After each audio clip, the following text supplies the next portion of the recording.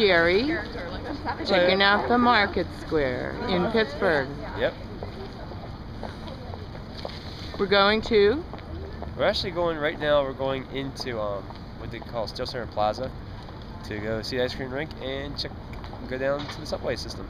Let's go. Let's go. It's rock and roll.